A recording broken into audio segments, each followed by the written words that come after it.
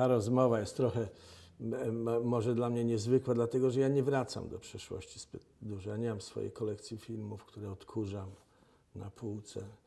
E, interesuje mnie bardziej e, to, co się dzieje dzisiaj i to, co e, jakaś tam przyszłość, czyli to, to, co się wydarzy jutro. Światło jest kluczowym elementem tego, czym my się zajmujemy, czyli autorzy zdjęć. W związku z tym przez lata gdzieś to światło, każdy jakiś z elementów e, e, jakiegoś układu e, niezwykłego światła, gdzieś tam podświadomie zapamiętywałem, prawda? I powstała jakby taka pewna biblioteka e, e, tych różnych rzeczy, do której później się zwyczajnie sięga, robiąc film. I to jest taki proces troszeczkę nawet e, e, w podświadomości. To jest, to jest część mojej natury. Zrobiłem swój pierwszy film w, e, właśnie w Irlandii i jak zacząłem go robić, to zrozumiałem jedną rzecz, że, e, że właściwie trzeba fotografować film, że tam fotografują film i że każde ujęcie ma jakby swoją funkcję w przekazaniu story.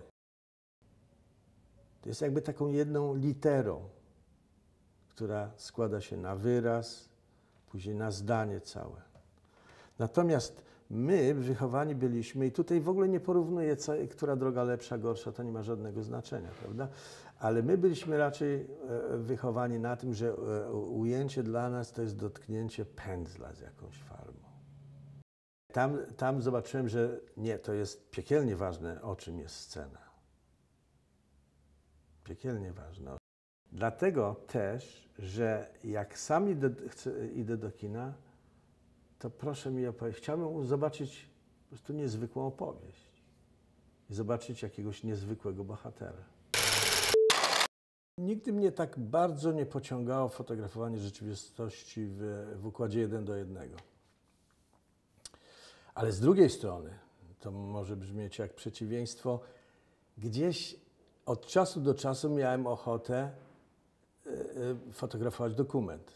I tych dokumentów nie robiłem wiele, właściwie chyba jeden taki poważniejszy z, z Witkiem Stareckim. Taki e, dokument dla BBC, 40-minutowy e, z takiej serii 40 Minutes. To było ciekawe e, bardzo doświadczenie, ale tak naprawdę e, zawsze interesowała mnie droga, e, żeby pójść w stronę kreowania rzeczywistości. W takich działaniach eksperymentalnych, czy w tych filmach, o których Ty mówisz, czyli z Wojtkiem Wiśniewskim, dwa filmy zrobiłem. Jeden to był Elementarz, drugi to był taki film, oba krótkie, e, Sztygar na zagrodzie, czarno-biały film, czy z, e, z, z, z, z Rybą, czyli ze Zbyszkiem Rybczyńskim. Fotografowałem jego e, nową książkę. Zbyszek Rybczyński miał to wszystko e, totalnie przygotowane, rozrysowane na papierach milimetrowych, bo wtedy tak działał, prawda? W związku z tym mój udział w tym filmie był raczej jakby wykonawczy niż koncepcyjny. Natomiast w wypadku e, Wojtka Wiśniewskiego to, e, to tutaj oczywiście od początku procesu, czyli od tych działań koncepcyjnych i tak dalej, i tak To był, dla mnie to był zawsze fascynujące, szczególnie w tamtym czasie, kiedy e, byłem młodym filmowcem po szkole filmowej. To był fascynujący, jakby fascynujące terytorium.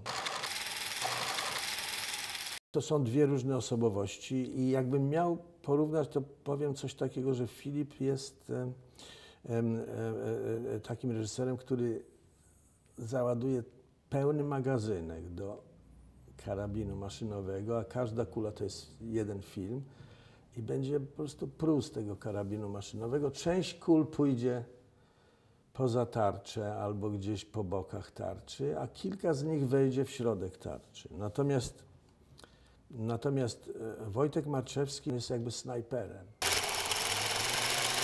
Energia zawsze jest takim e, e, jednym z podstawowych elementów. Pamiętam, że przed Arią myśmy z, z, z reżyserem spędzili e, trzy miesiące, naprawdę, tak, e, e, tworząc tak zwany scenopis, coś co to, to była piekielnie mozolna praca i dosłownie codziennie żeśmy się spotykali, każdą scenę analizowali i, i zaczęli rozrysowywać, czy zapisywać i tak dalej. Powstał takiej grubości scenopis. Wchodziliśmy jakby na rynek, na, na scenę, jeśli można tak powiedzieć, prawda? Ponieważ e, byliśmy tymi młodymi, nieznanymi jeszcze ludźmi, filmowcami. I coś mu takiego zawsze mówiłem, słuchaj, jak mamy wedrzeć się tam, to wejdźmy tak, żeby, kopnijmy w te drzwi, żeby wypadły z futryną. I to było nasze motto. To jest film, który, który został zrobiony tuż przed stanem wojennym. E, oczywiście za pieniądze e, państwowe, czyli e, komunistyczne. E, a, a, a mm, powstał film taki, jaki powstał. W związku z tym e, to też chyba pokazuje e, e, powolny taki rozpad tych, tego reżimu, kt- który właściwie e, gdzieś zezwolił na powstanie takiego filmu, który był antyreżimowy, prawda? Za swoje pieniądze sfinansowali to. Ale była ciekawa sytuacja, bo film wszedł na ekrany chyba w listopadzie. I już był wybrany do, do e, festiwalu e, e, w zachodnim Berlinie wtedy, prawda? Był zachodni Berlin, festiwal berliński. No i teraz przyszedł stan wojenny, zamknęli wszystkie kina.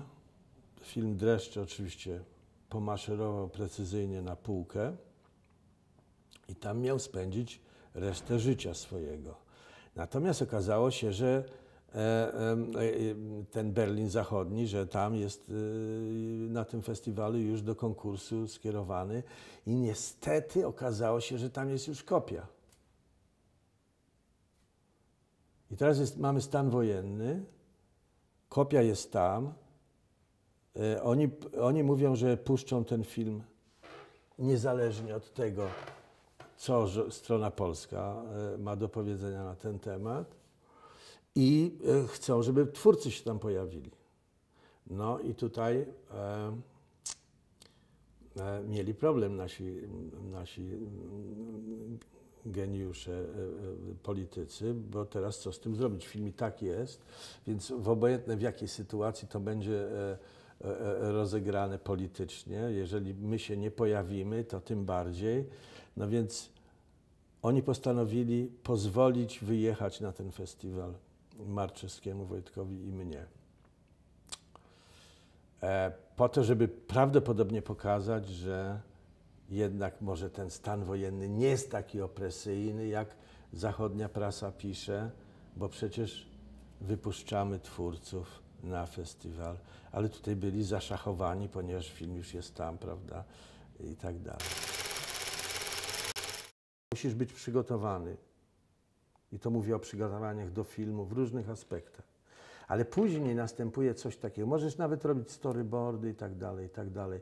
Przygotowujesz się. Ale później następuje ten moment, kiedy nagle jest próba pierwsza i masz tych aktorów w tej przestrzeni, którą będziesz fotografował. Tych aktorów w tej prawdziwej przestrzeni. I, I to jest taki punkt zwieńczający, bo jak czytasz scenariusz, wyobrażasz sobie różne lokacje, jak one mogą wyglądać, przestrzenie, zaczynasz kombinować z kolorami, rozmawiasz z reżyserem, gdzieś próbujecie razem e, znaleźć taki w- e, wyraz e, dla tego filmu. I, i, i, to, I to trwa i trwa i trwa, ale później jest ten moment, gdzie mamy już te prawdziwe, prawdziwych ludzi w tym wnętrzu, który, które e, e, e, będziemy tą scenę robić. To jest fantastyczny moment. I teraz czekam na próbę, bo ta próba, ona mi bardzo dużo powie, wiesz, jak się ludzie zachowują, jak się układają, jaki układa się ich ruch, jaki jest tak zwany body language, jak, czy ktoś staje w ten sposób, czy staje w taki sposób, czy odwraca się do światła, czy nie odwraca się i tak dalej, i tak dalej. I wtedy jakby bardzo precyzyjnie obserwując te, ten, ten proces, który zawsze uwielbiałem, bo to jest taka materi materializacja tego, co czytałeś mm, w scenariuszu jakiś czas temu. Pracowałem z, z Tadeuszem Łomnickim, to jest to niezwykłe doświadczenie. E, jakby prześledzić jego różne filmy, to w każdym z tych filmów jest on. Tutaj jest podobna sytuacja, że każdy projekt jest gdzieś tam inny, ponieważ wszystkie elementy są inne, zaczynając od reżysera, historii itd., tak itd. Tak Ale gdzieś mamy swoją naturę w środku, która próbuje i która e, e, e, tworzy rzeczy gdzieś podobne.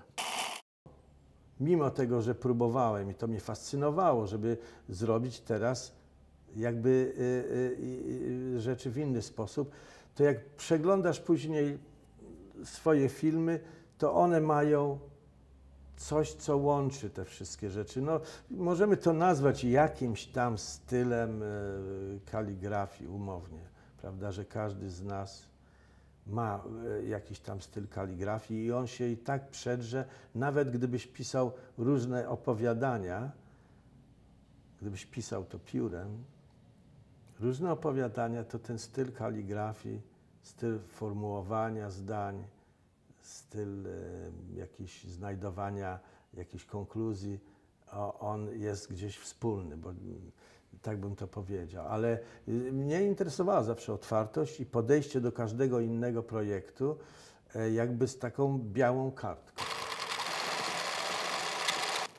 Widzę moje filmy robione sprzed lat, nie mógłbym dzisiaj tak samo zrobić tego filmu. Po pierwsze, nie byłoby celu w ogóle, żeby robić tak samo, ale to jest, jak patrzę, zapis e, tego, kim kiedyś byłem. Wiesz, to, to jest podróż, bracie. Ja nie wiem, czy to jest jakaś złota myśl dla młodych twórców, wiesz, no to, to jest fascynujący proces, tyle.